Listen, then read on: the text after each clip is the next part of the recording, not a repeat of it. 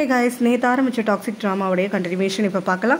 So நம்ம hero ஹீரோனை கூப்பிட்டுட்டுன்னு சொல்லிட்டு மேன்ஷனுக்கு போயிட்டுருக்கான் அந்த சமயத்தில் நம்ம ஹீரோயினும் அப்படியே அவங்ககிட்ட பேசணும்னு சொல்லிட்டு ஒரு மாதிரி தயக்கத்தோடவே பார்த்துட்ருக்கா அதை புரிஞ்சுக்கிட்டு நம்ம ஹீரோவும் என்னாச்சு? ஏதாச்சுன்னு சொல்லிட்டு அவகிட்ட கொஷின் பண்ணுறா அவளும் வந்து எனக்கு வந்து ஒரு ஹெல்ப் வேணும். என்னுடைய காலேஜ் ஃப்ரெண்டு ஒருத்தி இருக்கா. ஸோ அந்த பொண்ணை வந்துட்டு எனக்கு கண்டுபிடிக்கிறதுக்கு நீ எனக்கு ஹெல்ப் பண்ணு.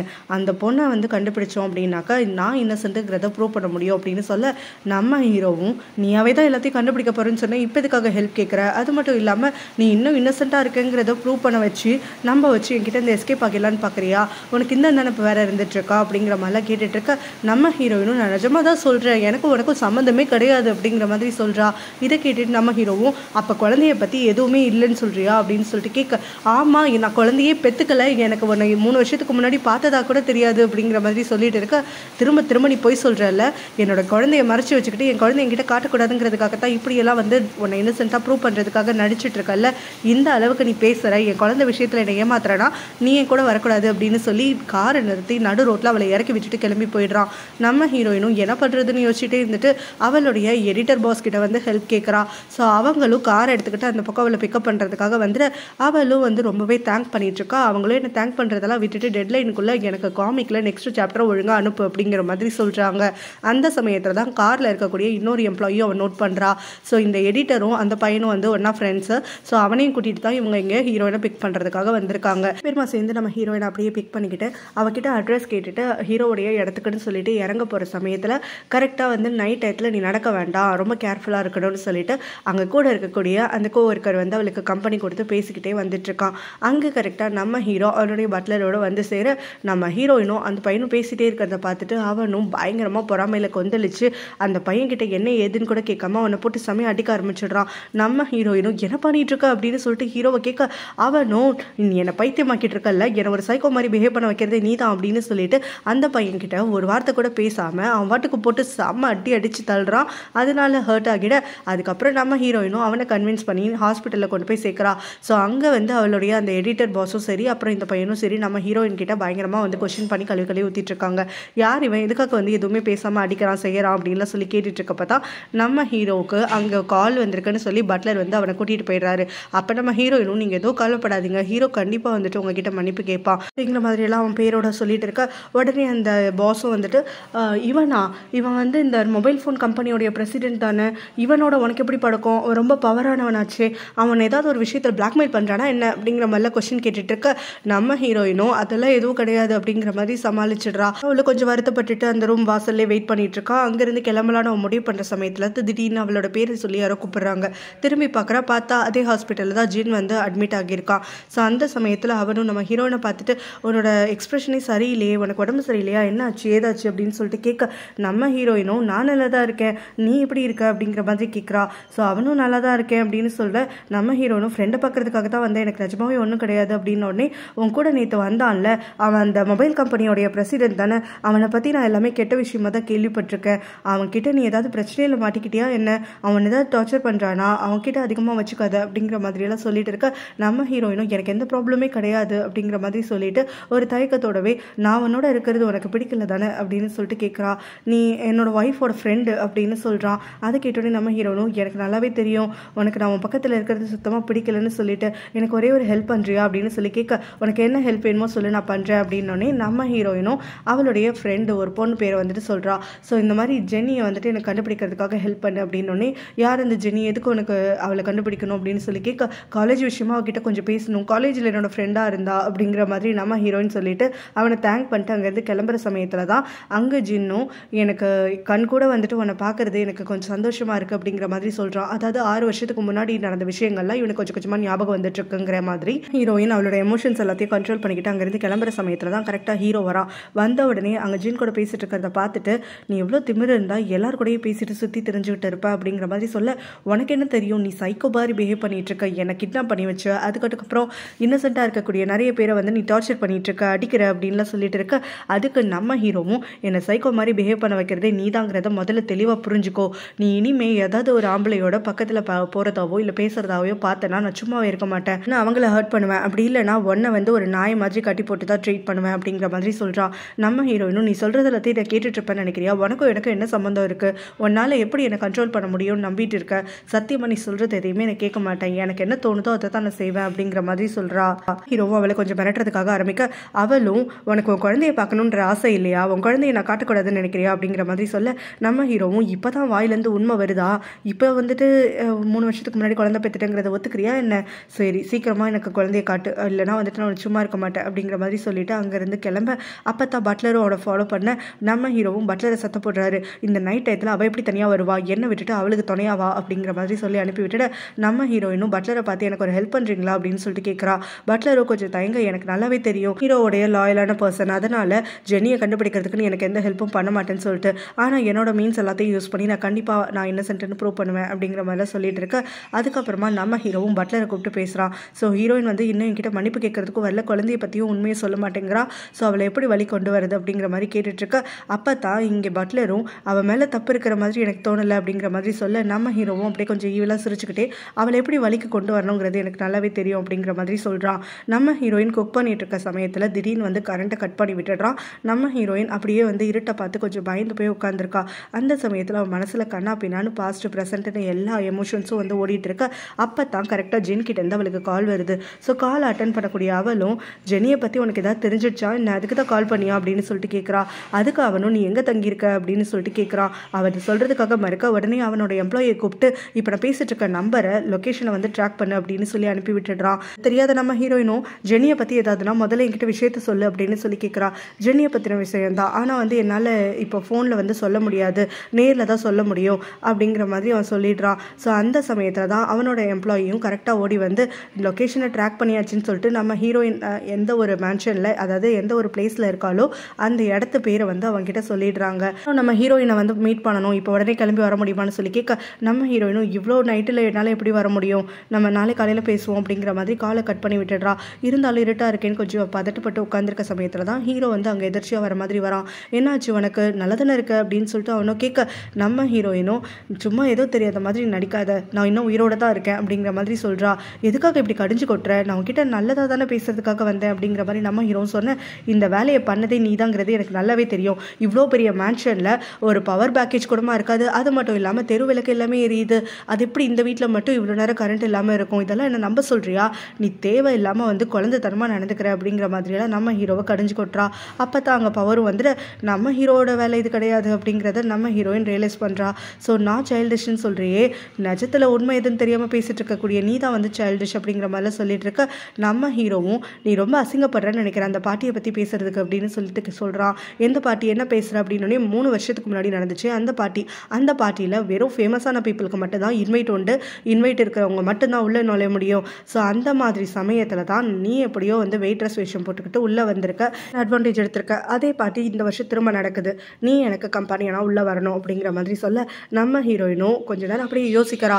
இவன் கூட வெளியில் போயிட்டோம்னா இந்த ஊரில் இருக்கவங்க எல்லாருக்கும் மீடியா பீப்புளுக்கெல்லாம் நான் இவனோட ஆளுங்கிற மாதிரி ஃபார்ம் ஆகிடும் அதுக்கப்புறம் எனக்கு லைஃப் வந்து ரெகுலராக நார்மலான ஒரு பர்சன் மாதிரி லீட் பண்ண முடியாது. எல்லாரும் என்னை துரத்திட்டே இருப்பாங்களே அப்படி சொல்லி யோசிச்சுட்டு முடியாது அப்படின்னு சொல்கிறா நம்ம ஹீரோவும் என்னைய நீ மறுக்கிறியா? அது கண்டிப்பாக வந்து நான் அலோவ் பண்ண மாட்டேன் அப்படிங்கிற மாதிரிலாம் சொல்ல நம்ம ஹீரோயினும் கட்டாயத்தின் பேரில் ஒத்துக்கிறா நம்ம ஹீரோவும் அப்படியே அவளை அழகா தூக்கி அப்படியே டேபிள் மேலே உட்கார வச்சுட்டு அன்னைக்கு நம்ம டான்ஸ் பண்ணுறதுக்கு ரொமான்ஸ் பண்ணுறதுக்குலாம் கொஞ்சம் ப்ராக்டிஸ் பண்ணணும்ல அப்படிங்கிற மாதிரி சொல்லிட்டு இருக்க ஹீரோயினும் ரொம்பவே வெக்கப்படுறா. இதை பார்க்குற ஹீரோவும் மூணு வருஷத்துக்கு முன்னாடி எல்லாத்தையும் பண்ணிட்டு இப்போ ஒன்றும் தெரியாத மாதிரி ரொம்ப இன்னசென்ட்டாக வெக்கப்பட்டுட்டு இருக்க அப்படின்னோடனே நம்ம ஹீரோயினும் நீ ஒரு சைக்கோடா அப்படின்னு பிடிச்சி தள்ளி விட்டுட்டு அங்கேருந்து கிளம்பி போயிடுறா. ஸோ அதுக்கப்புறம் பார்த்தோன்னா அடுத்த நாள் காலையில் அவளுக்கு ஜின் இருந்து கால் வருது. ஸோ அந்த அந்த சமயத்தில் ஜின்னும் அவளை சந்திக்கணும்னு சொல்லிட்டு அம்யூஸ்மெண்ட் பார்க்குக்கு வர சொல்கிறான் எதனாலும் ஃபோன்லேயே பேசிக்கலாமே அப்படின்னோடனே ஃபோனில் பேசுகிற விஷயம் கிடையாது. ஜென்னியை பற்றின டீட்டெயில்ஸ் எல்லாத்தையும் நான் கேதர் பண்ணிட்டேன். ஸோ இன்னைக்கு நீ அஞ்சு மணிக்கு வந்துரு அப்படிங்கிற மாதிரி அவன் சொல்லிடுறேன் ஹீரோயினும் தனக்கு தானே ஹெல்ப் வேணும் அப்படின்னு சொல்லிட்டு வேற வழி இல்லாமல் அப்படியே ஒத்துக்கிறா. ஹீரோ கிட்ட சொல்லாமன்னு சொல்லிட்டு அவள் அம்யூஸ்மெண்ட் பார்க்குக்கு அவனை பார்க்கறதுக்காக கிளம்பி போகிறான் அந்த சமயத்தில் அங்கே இருக்கக்கூடிய ஜின்னுக்கு வந்துட்டு பழைய நினைவுகள் வருது. அதாவது நம்ம ஹீரோனை டேட் பண்ணிட்டு இருந்த சமயம் அதே அம்யூஸ்மெண்ட் பார்க்குக்கு அவன் முன்னாடி வந்திருப்பான். அந்த இன்சிடெண்ட்டை ரீகால் பண்ணி பார்க்குறான் லைட்டாக ஸோ அந்த சமயத்தில் தான் அங்கே கரெக்டாக ஹீரோயின் வந்து சேர ஸோ இப்போ வந்து எங்கே அவளை பற்றின டீட்டெயில்ஸ் அப்படின்னு சொல்லிட்டு ஜென்னியோட டீட்டெயில்ஸை கேட்க அவனும் ஒரு ஃபைல் எடுத்து கொடுக்குறான். ரொம்பவே தேங்க்ஸ் இனிமேல் நான் வந்து என்ன ஏதோ டிஸ்டர்ப் பண்ண மாட்டேன் அப்படிங்கிற மாதிரிலாம் சொல்ல எனக்கு எதுவும் வந்துட்டு நீ தேங்க்கெல்லாம் பண்ண வேணாம். ஏன்னா எனக்கு பெருசாக வந்து எந்த ஒரு டீட்டெயில்ஸும் கிடைக்கல. அவள் வந்து இத்தனை வருஷத்தில் ஒரு ஒரு ரிச் பீர்சனாக மாறி மாறி மாறி டேட் பண்ணுற மாதிரியும் மிஸ்ட்ரஸ் மாதிரியும் தான் இருந்துக்கிட்டு இருந்திருக்கா. ஸோ இப்போ பார்த்தோன்னா கரண்ட்டாக லின் குரூப் பிரசிடென்ட்டோட தான் சுற்றிட்டு இருக்கா. ஸோ அவங்க ரெண்டு பேருக்குள்ள என்ன ரிலேஷன்ஷிப்னு எனக்கு தெரியல. ஆனால் இது எல்லாமே அவள் பணத்துக்காக தான் பண்ணுறான்னு தோணுது. ஆனால் இந்த பர்சனை நீ எதுக்காக தேடுற அப்படின்னு சொல்லிட்டு கேட்க எனக்கு காலேஜில் நடந்த ஒரு இன்சிடென்ட் பற்றி டீட்டெயில்ஸ் தெரியணும். அது அவள் மட்டும் தான் கிளாரிஃபை பண்ண முடியும். அதுக்காக தான் நான் தேடினேன். மற்றபடி எதுவும் இல்லை அப்படின்னு சொல்லிட்டு நம்ம ஹீரோயின் தேங்க் பண்ண அவனும் பரவாயில்ல உனக்கு எப்போ ஹெல்ப்னாலும் சரி எந்த ஒரு விஷயம்னாலும் சரி என்னை காண்டாக்ட் பண்ண அப்படிங்கிற மாதிரி சொல்கிறான் நீ ஏற்கனவே எனக்கு பலமுறை ஹெல்ப் பண்ணிட்டேன் இதுக்கு மேலே நான் உங்ககிட்ட வரமாட்டேன் அப்படிங்கிற மாதிரி நம்ம ஹீரோயின் சொல்லிட அவனும் சரின்னு சொல்லிட்டு அங்கேருந்து கிளம்பி போயிடுறான். நம்ம ஹீரோயினுக்கு அந்த ஃபைலை பார்க்க பார்க்க ஒரு குட்டி ஃப்ளாஷ்பேக் அவங்களுடைய காலேஜ் டே டேஸ் அப்போ அந்த ஜென்னியும் இவ்வளோ வந்து கொஞ்சம் க்ளோஸ் ஃப்ரெண்ட்ஸாக தான் இருந்திருக்காங்க. அந்த சமயத்தில் ஜென்னி சொல்லியிருப்பா நிறைய பணம் சம்பாதிக்கணும் லைஃப்பில் சக்ஸஸ்ஃபுல்லாக இருக்கணும். யாருமே எனக்கு எந்த ஒரு ஆர்டரும் போடக்கூடாது. நான் தான் அடுத்தவங்க எல்லாரையும் கை காட்டி வேலை வாங்கணும். அந்த மாதிரி ஒரு நிலைமைக்கு நான் வரணும் அப்படின்னு சொல்லிட்டு. ஸோ இதெல்லாத்தையும் யோசிச்சுட்டு நம்ம ஹீரோயின் இப்படி இருக்கவை எப்படி இந்த மாதிரி மாறி இருக்கா அப்படிங்கிற மாதிரி யோசிச்சுட்டு இருக்கா. நம்ம ஹீரோ பார்த்தோம்னா பார்ட்டிக்குன்னு சொல்லிட்டு நம்ம ஹீரோயினுக்கு ட்ரெஸ் எல்லாம் சூஸ் பண்ணி டிசைனராக ஆர்டர் பண்ணி வந்து கொண்டு வந்து கொடுக்குறான். நம்ம ஹீரோயினை ட்ரையல் பார்க்க சொல்ல அவ்வளோ அதை ட்ரையல் பார்க்குறா. ஸோ நம்ம ஹீரோயினை பார்த்த உடனே அவன் பயங்கரமாக வந்து அட்ராக்ட் ஆகிடுறான் அதுக்கப்புறம் அவாட்டுக்கு அவளை ஹக் பண்ணிட்டு அவளுக்கு கழுத்தில் ஹிக்கியெல்லாம் கொடுக்கறதுக்காக ஆரம்பிச்சுட்டு நம்ம ஹீரோயினும் என்னடா இது வியடாக நடந்துக்கிறானே அப்படிங்கிற மாதிரி ஒரு எண்ணத்திலேயே வந்துட்டு அப்படியே அவன்கிட்ட சப்மிட் ஆகிடுறா. ஸோ அந்த பார்ட்டிக்குன்னு சொல்லிட்டு அவங்க ஈவினிங் கிளம்பி போகிற சமயத்தில் அவள் கழுத்தில் இருக்கக்கூடிய ஹிக்கியை எல்லாரும் வித்தியாசமாக பார்த்துக்கிட்டு இருக்க அவளும் அதை மறைச்சு மறைச்சு வச்சுக்கிட்டு இருக்கா. ஸோ எல்லாரும் அவளை எதுக்காக பார்க்குறாங்கிறது தெரிஞ்சதுக்கப்புறமா அவளும் நம்ம ஹீரோ கிட்ட அதை கொஷின் பண்ணுறா நீ வேணும்னே தான் இந்த மாதிரி பண்ணல. எனக்கு சில சமயம் பார்க்கும்போது உன் மண்டையை ரெண்டா பொழுது உன் மண்டைக்குள்ளே என்னெல்லாம் சிந்தனைகள் இருக்குன்னு சொல்லி பார்க்கணும் போல இருக்கு. அந்த அளவுக்கு நீ பியர்டான பர்சனாக இருக்க அப்படிங்கிற மாதிரியெல்லாம் கமெண்ட் பண்ணி நம்ம ஹீரோவை சிரிக்க வச்சுட்டு இருக்கா. அதுக்கப்புறம் அப்படியே அவங்க ரெண்டு பேரும் டான்ஸ் பண்ணிக்கிட்டு இருக்க. நம்ம ஹீரோயினும் தன்னை அறியாமலே ஹீரோவுடனான அந்த மொமெண்ட்டை என்ஜாய் பண்ணிட்டு இருக்கா. ஹீரோவும் அதுக்கப்புறமா பிஸ்னஸ் விஷயமா ஒருத்தரை பார்த்து பேசணும் அப்படின்னு சொல்லிட்டு அங்கேருந்து கிளம்பி போயிட அப்போ தான் அங்கே நம்ம ஹீரோயின் கரெக்டாக வந்துட்டு அந்த ஜென்னியை பார்க்குறா. ஸோ ஜென்னியை பார்த்த உடனே அவ்வளோ அவகிட்ட பேசணும் அப்படின்னு சொல்லிட்டு பேச்சு கொடுக்க போக ஜென்னியும் கரெக்டாக வந்துட்டு நம்ம பார்த்து எவ்வளோ வருஷம் ஆச்சு அப்படின்னு சொல்லிட்டு நம்ம ஹீரோயின் கிட்ட வந்து பேசுகிறா ஸோ நம்ம ஹீரோயினும் நீ எப்படி இருக்க? நான் உன்கிட்ட ஒரு விஷயம் கேட்கணும் தெரியுமா? அப்படிங்கிற மாதிரி பேச்சு எடுக்க அதுக்கு அவளும் நீங்கள் யார் கூட வந்த உன்னுடைய தங்கச்சி கூட வந்தியா? இல்லைனா அவளுடைய ஃபியான்ஸே கூட வந்தியா? அப்படிலாம் சொல்லி கேட்க நான் அவங்களோடலாம் வரல. அப்படிங்கிற மாதிரி நம்ம ஹீரோயின் சொல்கிறா நீ இது கண்டிப்பாக வந்து ஃபேமஸான பீப்புளுக்கானது நீ தனியாக இங்கே வந்திருக்க வாய்ப்பே கிடையாது. உன் பாய் ஃப்ரெண்ட் கூட வந்தியா? உன் பாய் ஃப்ரெண்ட் யார்? அப்படின்னு சொல்லிட்டு கேட்க இல்லை எனக்கு பாய் ஃப்ரெண்டெல்லாம் கிடையாது. அப்படிங்கிற மாதிரி நம்ம ஹீரோனும் சொல்கிறா இந்த ஜன்னியும் பக்கத்தில் இருக்கக்கூடிய ஆளை வந்து அறிமுகப்படுத்தி வைக்கிறா. இவர் தான் என்னுடைய பாய் ஃப்ரெண்ட் லின் குரூப்போடைய பிரசிடென்ட் அப்படிங்கிற மாதிரியெல்லாம் வந்துட்டு சொல்லிட்டு இருக்க நம்ம ஹீரோயினும் அந்த ஆள்கிட்ட அறிமுகமாகிக்கிறா. ஸோ அந்த ஆளும் நீ எப்படி உள்ள வந்தங்கிறத இன்னும் சொல்லவே இல்லையே. பாஸ் கூட வேலை விஷயமா வந்திருக்கியா? அப்படின்னு சொல்லிட்டு கேட்க அதுக்கு அந்த ஜென்னியும் அவ பாஸோட வந்திருக்க வாய்ப்பு இல்லை அப்படிங்கிற மாதிரி சொல்றாரு. நம்ம ஹீரோயினும் ஆமா நான் என் பாஸ் கூடலாம் வரலன்னு சொல்றா. உடனே அந்த ஜென்னியும் இவ பாய் ஃப்ரெண்ட் கூடயும் வரல பாஸ் கூடயும் வரலன்னா கண்டிப்பா யாரோ ஒருத்தருக்கு மிஸ்ட்ரஸாக தான் உள்ள வந்திருக்கா. அப்படிங்கிற மாதிரி நம்ம ஹீரோயினை பார்த்து கமெண்ட் பண்ண நம்ம ஹீரோயினும் என்னை பத்தி இப்படியெல்லாம் கேவலமா பேசுறதுக்கு உங்க யாருக்கும் ரைட்ஸ் கிடையாது அப்படின்னு சொல்லிட்டு வாய்ஸை ஏத்துறா. அப்ப அந்த நீயும் அப்போ யார் கூட வந்திருக்கன்ற உண்மையை சொல்ல வேண்டியதானே? நீ சொல்கிறதுக்கு தயங்குறனா கண்டிப்பாக நீ ஒரு மிஸ்ட்ரஸாக தான் இருக்க முடியும். காலேஜ் டேஸில் நான் உன்னை இப்படி கேவலமான ஒரு சுச்சுவேஷனில் பார்ப்பேன் நினச்சி கூட பார்க்கல அப்படிங்கிற மாதிரி அந்த ஜெனியும் நம்ம ஹீரோயின் கிட்ட அப்படியே பாம்பா கொத்திக்கிட்டு இருக்க நம்ம ஹீரோயின் கோவப்பட்டு அவகிட்ட வாக்குவாதம் பண்ணிட்டு இருக்கா. அந்த சமயத்தில் தான் நம்ம ஹீரோயினோட குரல் உயர்றதை பார்க்குற நம்ம ஹீரோவும் உடனே அங்கே எந்திரிச்சு வரான். வந்த உடனே இங்கே என்னுடைய கேர்ள் கிட்ட யார் என்ன பேசிட்டு இருக்கீங்க அப்படின்னு சொல்லிட்டு சத்தம் போடுறான்.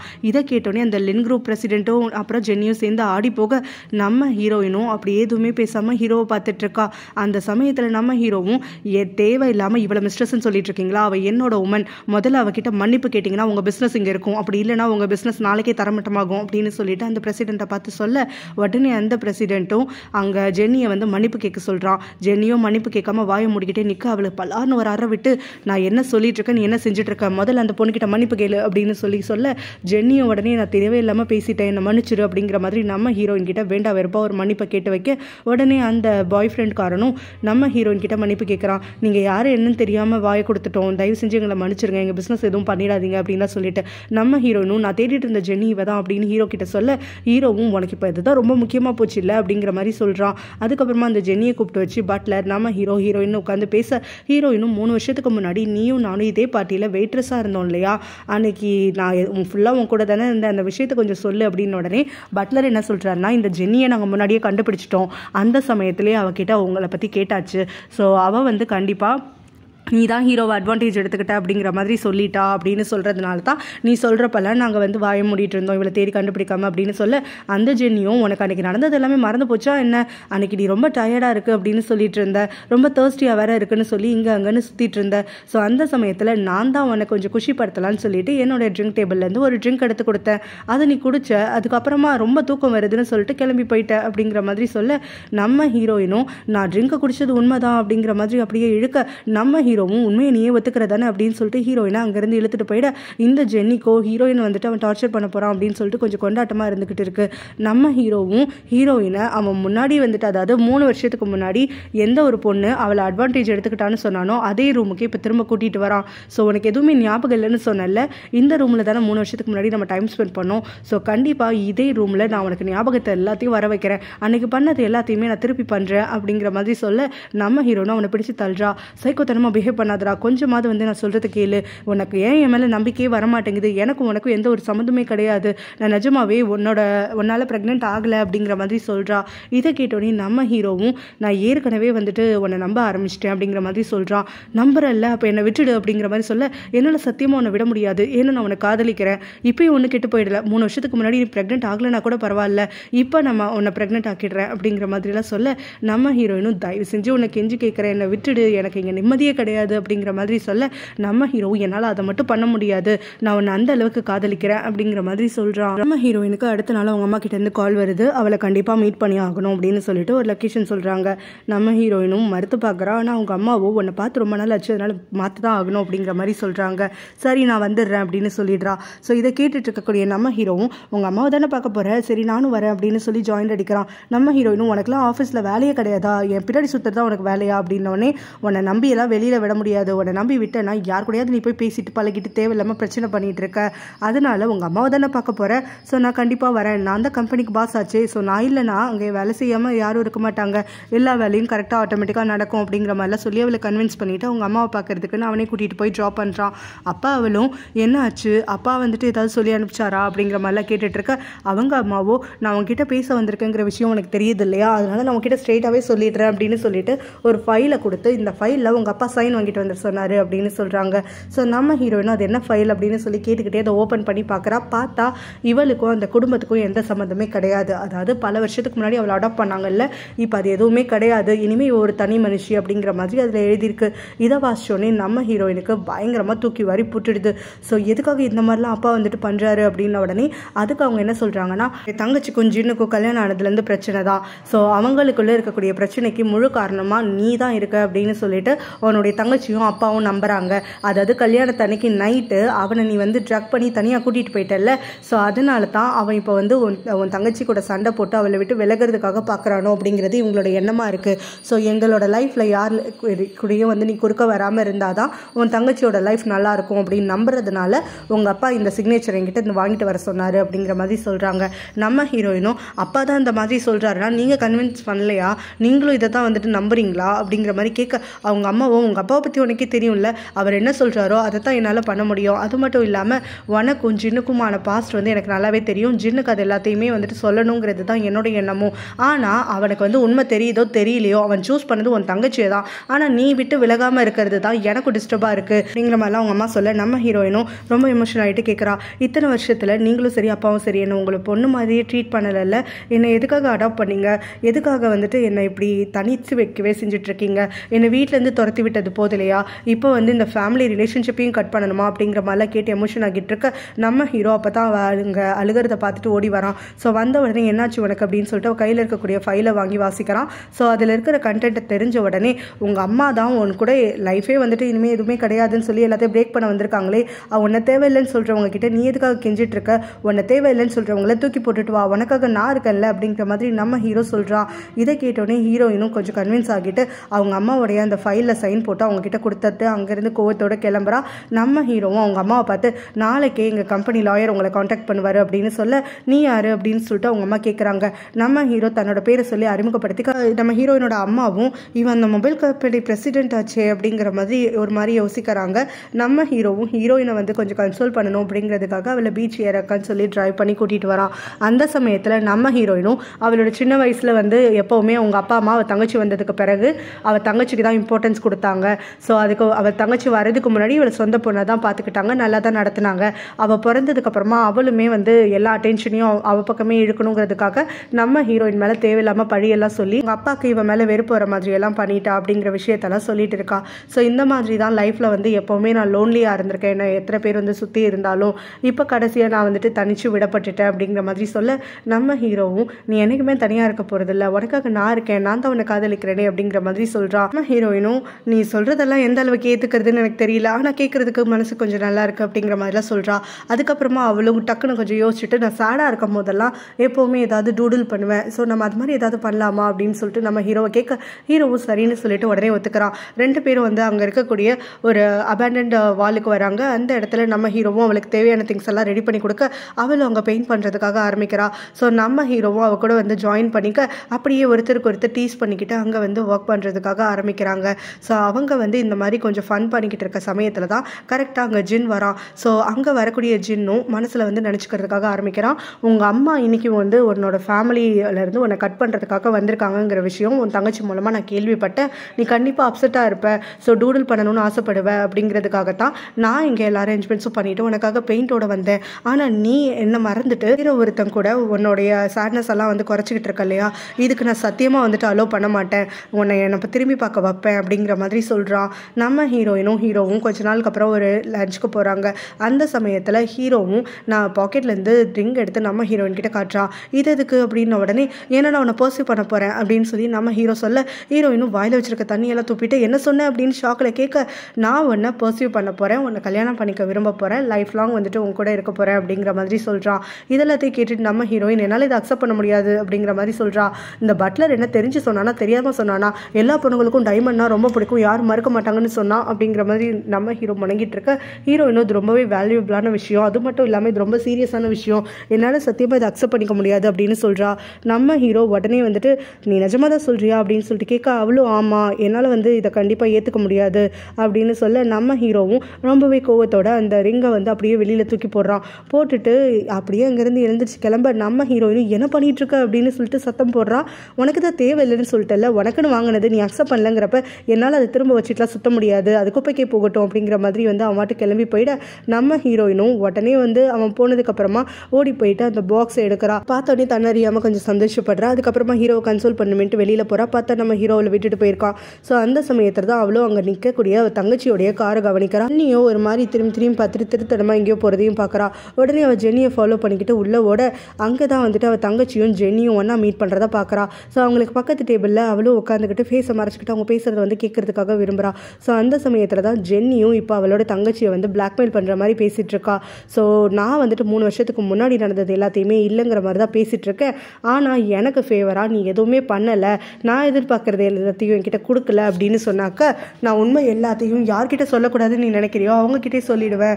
ஸோ மனசில் வச்சுக்கோ என்ன நீ சந்தோஷமாக வச்சுக்கிட்டா மூணு வருஷத்துக்கு முன்னாடி இருக்கக்கூடிய சீக்ரெட் சீக்ரெட்டாகவே இருக்கும் அப்படிங்கிற மாதிரி சொல்ல அதுக்கு வந்து இங்கே நம்ம ஹீரோனோட தங்கச்சியும் வந்து கோவப்படுறா. ஸோ இங்கே வந்து இவங்க ரெண்டு பேர் பேசிட்டு போனதுக்கப்புறமா நம்ம ஹீரோயினும் யோசிக்கிறா. இவங்க ரெண்டு பேரும் எதை பற்றி பேசிக்கிறாங்க? மூணு வருஷத்துக்கு முன்னாடி என் தங்கச்சிக்கு என்ன சம்மந்தம் இருக்குது ஒருவேளை பாட்டி பற்றி பேசுகிறாங்களா அப்படிங்கிற மாதிரிலாம் யோசிச்சுட்டு இருக்க. அப்போ தான் பட்லரும் அங்கே வராரு. நம்ம ஹீரோ தான் அவரை அனுப்பிவிட்டு நம்ம ஹீரோனை கூப்பிட வரதா சொல்ல ஹீரோயினும் சரின்னு சொல்லிட்டு கிளம்புறா. அதுக்கப்புறமா அவளும் ஹீரோவை வந்து பார்த்து சந்திக்கிறா. எனக்கு உங்ககிட்ட ஒரு ஹெல்ப் வேணும் அப்படின்ன உடனே என்கிட்ட நீ ஹெல்ப் கேட்குறியா எந்த ஒரு தயக்கமும் இல்லாமல் அதிசயமாக இருக்குது என்ன வேணும்? அப்படின்ன உடனே தங்கச்சி ஃபோனை ஹேக் பண்ணுறதுக்கு உன்னுடைய டிவைஸ்லேருந்து ஏதாவது எனக்கு ஒரு பக் வேணும் அப்படின்னு சொல்லிட்டு கேட்குறா நம்ம ஹீரோவும் என்கிட்ட ஒரு ஃபைல் இருக்குது அந்த ஃபைலை போட்டாக்க சூப்பராக வந்துட்டு நீ ஹேக் பண்ணிடலாம். அவள் பேசுகிற ஃபோன் காலில் கூட உன்னால் வந்து நல்லா ஒட்டு கேட்க முடியும் அப்படிங்கிற மாதிரி சொல்கிறான் ஸோ இவ்வளோ சூப்பரான ஒரு இதை யார் கண்டுபிடிச்சா அப்படிங்கிற மாதிரி நம்ம ஹீரோயினும் கேட்க ஹீரோவும் வேற யார்? என் கம்பெனியில் இருக்க பெஸ்ட் பர்சன் தான். அப்படின்ன உடனே நம்ம ஹீரோயினுக்கு ஹீரோ தான் அதை கண்டுபிடிச்சாங்கிறது தெரியுது. இருந்தாலும் லைட்டாக டீஸ் பண்ணிக்கிட்டு அந்த பர்சன் தான் யாருன்னு கேட்டேன். அவ்வளோ மூலக்காரனாக இருக்கானே அப்படிங்கிற மாதிரிலாம் நக்கலாக பேசிகிட்டு இருக்க நம்ம ஹீரோவும் நான் தானே சொல்லிகிட்டு இருக்கேன். அப்புறம் என்ன அப்படிங்கிற மாதிரி டீஸ் பண்ணிகிட்டு இருக்கான்.